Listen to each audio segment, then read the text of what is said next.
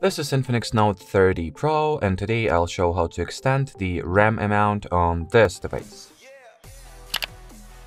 So to start you'll need to launch settings, then here enter the special function category, then tap at the MemFusion, switch it on, select the amount of additional RAM gigabytes you would like to get, and then reboot your system so those changes can be properly applied and, well, take effect. And that'll be it. So thanks for watching and bye bye.